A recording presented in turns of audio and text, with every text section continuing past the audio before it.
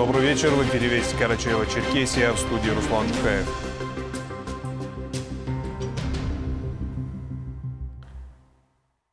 Двадцать первого мая Карачаева-Черкесия отметила скорбную дату – День памяти жертв Кавказской войны. Траурные мероприятия прошли в республиканской столице, Хабесском, Абазинском, Адыгихабльском и Малокарачаевском районах.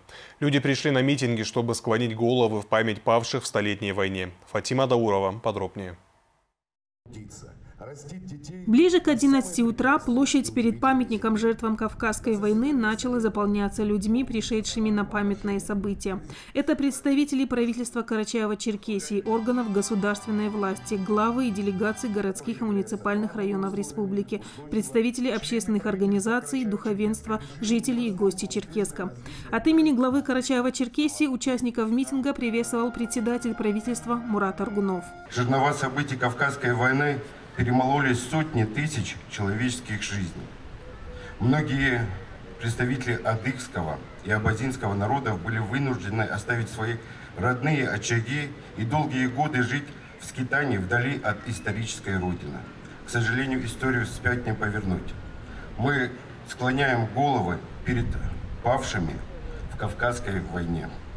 Представители общественных организаций отмечали важность сохранения исторической народной памяти и подчеркнули, что вопреки всем невзгодам народы Карачаева-Черкесии не только сохранили свою национальную идентичность, но и приумножили богатую культуру и добрые традиции. Когда мы вспоминаем те события, которые происходили с нашим народом, с абазинами, с адыгами, с другими народами Кавказа, с казаками, это была трагедия. И это надо помнить, не забывать, но жить сегодняшним днем, делать выводы, а, чтобы мы сохраняли свою культуру, свой язык, свои традиции и передавали из поколения в поколение. 21 мая 1864 года в урочище Кбаада, ныне Красная Поляна, состоялся праздничный парад в честь победы в Кавказской войне. И с этого дня мы потеряли нашу страну Черкесию. И наш народ разбросан по всему миру и проживает более чем в 50 странах мира. И сегодня Э, каждый черкес в какой бы стране или республике не проживал, сегодня все отмечают эту скорбную дату. Ровно в 12 часов по полудню, как и во всех остальных регионах страны и мира, где 21 мая вспоминают скорбную дату, объявили минуту молчания. А представители Духовного управления мусульман совершили поминальный обряд дуа. После к памятнику жертвам Кавказской войны участники траурного мероприятия возложили цветы в дань памяти своим предкам. Параллельно основному событию в Черкеске траурный митинг прошел и в Хабесском районе. У подножия первого в мире памятника жертвам Кавказской войны, установленного в ауле Алибердуковский, собрались жители района. Эта скорбная дата затрагивает душу каждого черкеса, представителя большого этноса, который больше всего пострадал в этой вековой войне. Для нас это большое э, значимое событие, и для нас очень важно, что сегодня эта дата является государственной. Такие мероприятия позволяют воспитывать нашу молодежь, объединять народы, э, приводить примеры прошлого, чтобы не было ошибок в будущем. В этот день скорбел и абазинский народ, который также понес большие потери в Кавказской войне. В память своих предков жители аула Красный Восток склонили свои головы перед памятником в их честь. Наши славные предки с честью и достоинством выдержали выпавшие на их горку долю тяготы и испытания. В этот день мы вспоминаем тех, кто отдал свои жизни, защищая отчий край.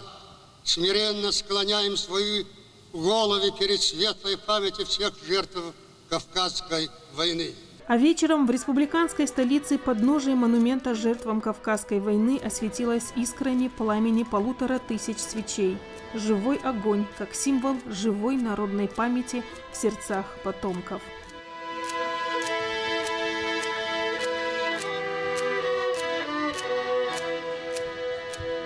Фатима Даурова, Мухаммеда Шибоков, Расул Бердиев, Вести, Карачаева, Черкесия.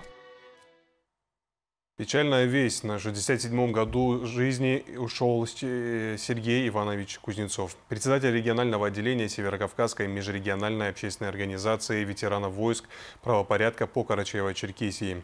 Выпускник Воронежской школы милиции по роду своей деятельности служил на различных должностях в органах внутренних дел Карачаево-Черкесской республики. Принимал участие в 19 боевых специальных операциях по Северному Кавказу, награжден Орденом Мужества и другими государственными наградами. Он один из тех, кто стоял у истоков создания специального элитного отряда «СОБР Клинок», а потом и возглавил его. Подполковник милиции в отставке Сергей Кузнецов активно участвовал в военно-патриотическом воспитании подрастающего поколения. Под его руководством ветеранская организация проводила множественные благотворительные акции. Похороны Сергея Кузнецова пройдут завтра утром на городском кладбище. Сергей Иванович прежде всего был человеком с большой буквы, и профессионалом, и человеком. Я его помню с 1993 года, когда пришел на службу. Он как раз меня принимал в СОБР. И поэтому он нас, молодых лейтенантов, младших лейтенантов пытался научить всему, чего, что он сам знал. Его пример был для нас очень серьезной наукой. Он нас учил и оперативной работе, и работе спецназа. Поскольку это подразделение спецназа было одним из первых в милиции на тот момент. Такие люди рождаются нечасто. Я думаю, что для нас это будет очень большая потеря и для меня лично, как человека, который его знал близко, и для нашего ведомства, для управления Росгвардии, потому что такие люди не часто появляются. Сейчас прогноз погоды, а после мы продолжим выпуск.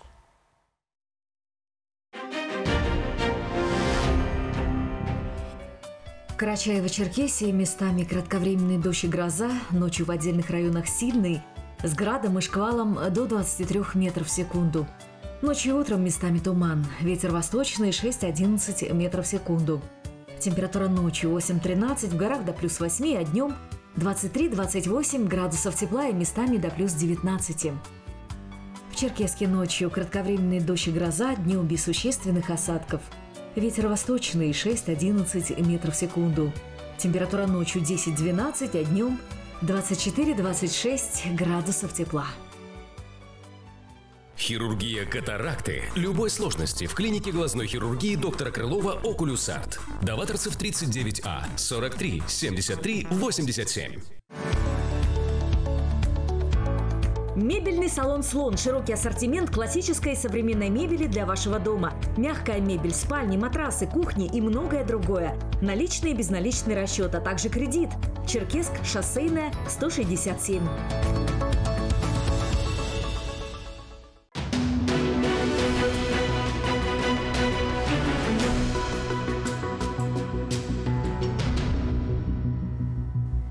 Сегодня для нескольких тысяч учащихся 9 и 11 классов школ Карачаева-Черкесии прозвенел последний торжественный звонок. Торжественные мероприятия прошли во всех образовательных учреждениях республики. Артур МЦ продолжит тему. Кажется, совсем недавно эти юноши и девушки переступили порог школы. И вот теперь им осталось сделать последний шаг, чтобы окончательно попрощаться с образовательным учреждением, в котором провели 11 лет. Впереди волнения и хлопоты, связанные с государственной итоговой аттестацией. Но сейчас, когда вот-вот должен был прозвучать последний звонок, ребята думали о другом. О том, сколько всего интересного случилось за прошедшие годы. Самое главное, хочу отметить э, нашего учителя ОБЖ Ахмеда Умарыча. Это отличный человек. Я ему желаю вот бесконечного счастья и здоровья. За 11 лет в школе Хочется сказать, что школа стала нам как вторым домом, и очень грустно прощаться, потому что я помню, когда я был в первом классе, как радостно я воспринимал это время. Не думал, что все так быстро кончится. Отдельное спасибо я хотел бы сказать нашему учителю по физкультуре Сергею Викторовичу. Хороший человек. Казалось, что только недавно мы пришли в первый класс, а уже 11, как-то не верится. За эти 11 лет эта школа стала нам домом, мы привыкли к учителям. Большое спасибо многим учителям, которые нас, можно сказать, воспитали. И осталось только сдать экзамены и уже войти в взрослую жизнь. Буквально месяц назад мы еще в этой школе бегали и смеялись, а сегодня мы уже стоим, выпускники. На самом деле грустно, и я хочу пожелать всем выпускникам успешного сдачи экзаменов, поступления в престижные вузы. В этот день торжественные линейки прошли во всех общеобразовательных учреждениях республики. Последний звонок прозвенел для почти 6 тысяч учащихся девятых классов и более полутора тысяч одиннадцатиклассников. Из стен 13-й гимназии Черкеска в ближайшее время будут выпущены еще и воспитанники 6 школы, где сейчас проводятся ремонтные работы. Руководитель городского управления образования Сусана Калмыкова поздравила ребят с достижением ими важной в жизни планки. От всей души поздравляю вас с праздником последнего звонка. Для всех выпускников этот день один из самых волнительных и радостных.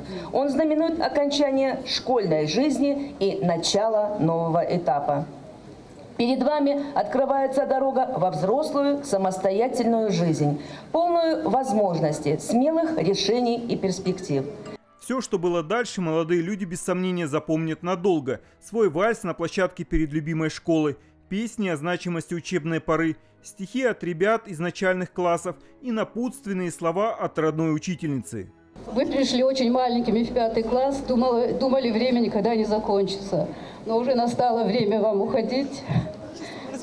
Желаю вам самого лучшего, успешной сдачи экзаменов, чтобы у вас все было хорошо по жизни. Слезы, объятия, подбадривания – все эти ребята могут быть уверены, что в стенах родной школы им всегда рады.